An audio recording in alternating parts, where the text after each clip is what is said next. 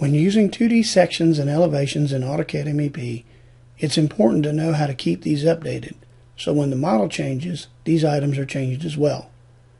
There are three tools that update sections and elevations. Refresh, Regenerate, and Batch Refresh. The main difference between refreshing and regenerating is what types of changes were made to the model. Pick the section. From the 2D Elevation tab on the ribbon, select Refresh. Refresh updates what the section already has in it.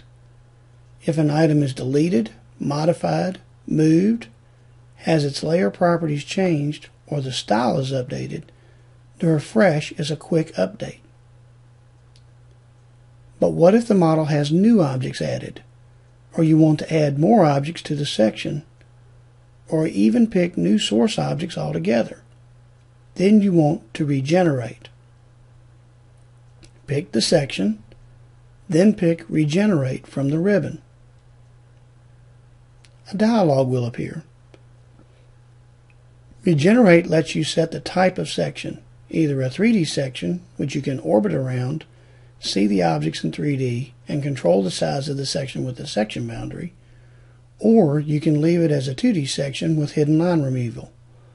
If I created it as a 2D section, let's leave it that way.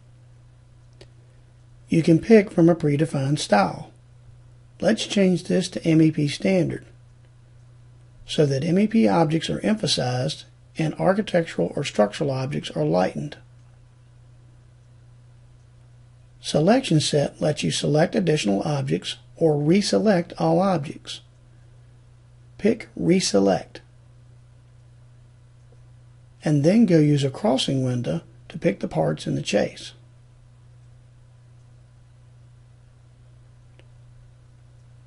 Display sets look at the object representation sets, which are defined in the Display Manager. Most of the time, you want one that is model-based, so you can see all of the model shapes and sizes. We'll leave this set to MEP Basic two-line model since it shows all disciplines. Placement lets you pick a new insertion point or just update the one that's already there. So leave this set to replace existing. Select OK and the model will update. After this is updated, I'm going to change the model by picking a reference and then picking Open XREF.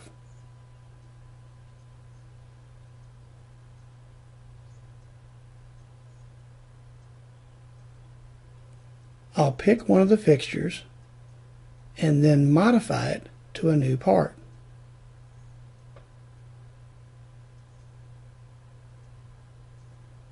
Next, save and close the reference file.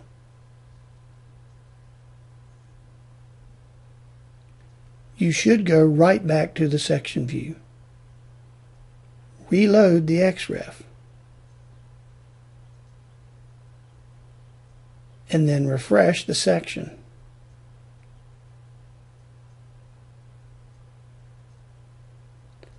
Notice how the part is revised. To update all section views in a project, go to the Home tab. On the section and elevation panel, pick Batch Refresh. This tool lets you update all views in a project, just the ones in a folder, or include the subfolders. This is a great tool if you had a lot if you have a lot of section drawings to update. Select Close to stop the routine. So this is how I keep my 2D sections updated. As long as they are not exploded, you can keep up with all the changes in the model.